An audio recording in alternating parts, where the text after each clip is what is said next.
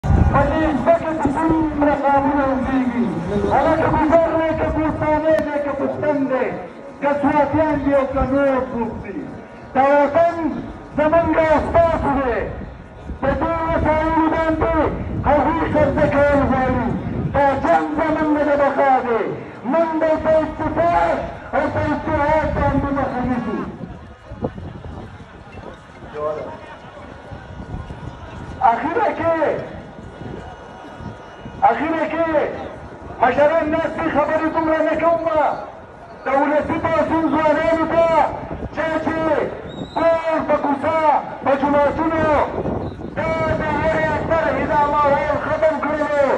او تاسو ته یې د امن دپاره بلنې درکړلې او هغه مشران کوم چې د دې قوم سره څنګ په څنګ ولاړ وي، هغوی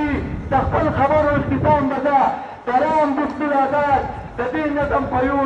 څو شعرونه وکړم چې د ولسي پاڅون ځوانانو ته او دوی مشرانو ته ډالۍ دي. سرفروشي کی تمنا اب همارې دل مې هې، دیکھنا هې زور کتنا بازوئې قاتل مې هې.